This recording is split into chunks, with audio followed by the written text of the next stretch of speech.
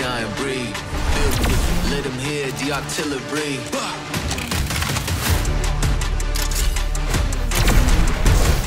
Böyle bir seri başlatmazsam kesinlikle yerimde duramazdım. O kadar saçma sapan oyunlar çıkıyor ve çıkmaya devam ediyor ki ve bunu da oyun diye önümüze sürüyorlar. Sizin yapacağınız işi sikeyim. Allah sizin teker teker belanızı versin. Allah sizin belanızı versin. Allah. Ki bir yerden sonra insan salak yerine konulmaya doyamıyor. Odunu verdikçe onlar da ısınıyor. Ver odunu Salih Usta. Yansın ortalık anasını satayım. Ama tam olarak bugünden sonra linç serimizi başlatıyorum. Ve listemizin de kabarık olduğunu söylemem gerekiyor. Artık içimizden geleni elimiz yazacak ve ağzımız da bunu seslendirecek. Ben de tek tek linçleyip bunları zorbalayacağım. Çünkü hak ettikleri bu. Toksik modumuzu biraz da olsa bir yerden sonra kullanmamız gerekiyordu. Ve artık bu seride bunu da alacaklar. Siz de bu güzel kardeşinizi desteklemek isterseniz eğer ki isterseniz ki tabii ki eğer ki falan ki fiştan ki Sen ne konuşuyorsun lan değişik. 2 saniyede abone olma özelliği gelmiş YouTube'a. Hemen aşağı indirip abone olup destekleyebiliyorsunuz. Hazırsanız videoya geçelim. Ben Toksican. Hazırsanız başlıyoruz.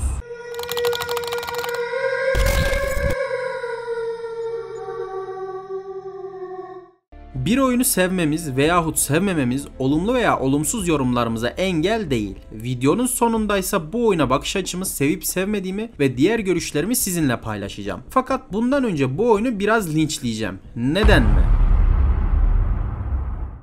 Siz bir oyun şirketi olduğunuzu iddia ediyorsunuz. Varsayalım ki öylesiniz. Ve bunu da Shroud gibi ünlü bir yayıncıyla destekleyip bir oyun çıkartıyorsunuz. Peki bu ünlü dediğimiz yayıncı çıkıp hiç mi fikir beyan etmedi? Dünyanın en ünlü oyunlarından birisine benzer bir oyun yapacaksak biraz daha sağdan soldan çalalım, ortaya harmanlayıp öyle koyalım diye. Ne bileyim klon olayını falan koyunca öyle pek de değişik bir oyun yaratmışsınız gibi de gözükmüyor. Yoksa planlarınız tam olarak Valorant'ın bir kopyasını mı çıkarmaktı? Bu kadar mı rezil bir hamleyle anılmak istiyordunuz? Kabul ediyorum Valorant'ı her ne kadar sevmesem de çok başarılı bir oyun kendisi. Ve böyle olduğunu da artık bir dünya biliyor. Efsane bir konumda olduğunu da biliyoruz. Şimdi çıkıp bir iki kişi şey diyebilir. Dünya üzerindeki hiçbir oyun özgün çıkmıyor. Herkes bir yerden bir şeyler çalıyor çırpıyor. Ne bekliyordun? Mecbur çalacak edecekler. Güzelliğine oynanılırlığına bak geç. Sana özellikle diyeceğim bir şey yok ama söylediğim gibi bir oyun yaparken böyle bir durumla sektöre girmek ne kadar cazip gelse de ne kadar başarılı olduğunu insana sorgulatır.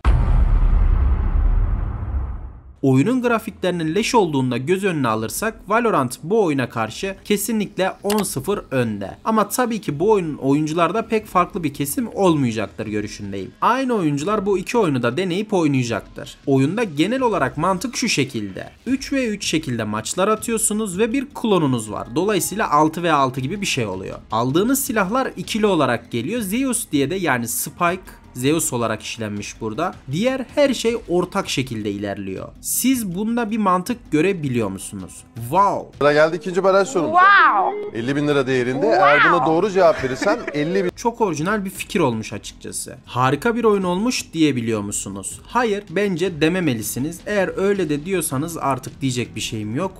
Sana ne la? Sana ne la? Sana ne la?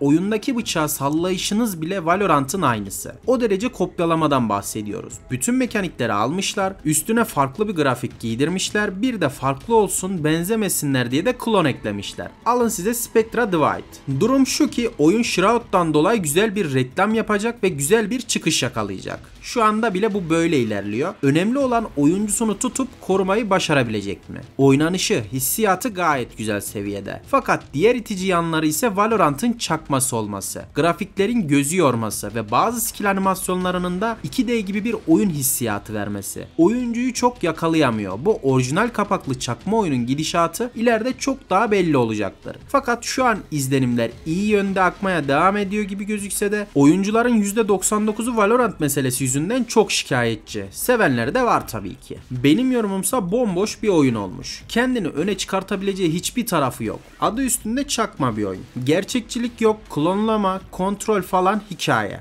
Oyun genel olarak size bir şey sunmuyor. Özellikle bir imzası yok. Ben bu tarz oyunları sevmekte zorlanıyorum. Ne yalan söyleyeyim kim olursa olsun bu tarz çakma oyunların her zaman başarısız olacağına inanıyorum. Koskoca bir boşluk olmuş kısacası. Umarım yeni içeriğimiz hoşunuza gitmiştir. Devamının gelmesini istiyorsanız lütfen beğenip abone olmayı unutmayın. Açıklama kısmındaki linkten Discord adresimize gelebilirsiniz.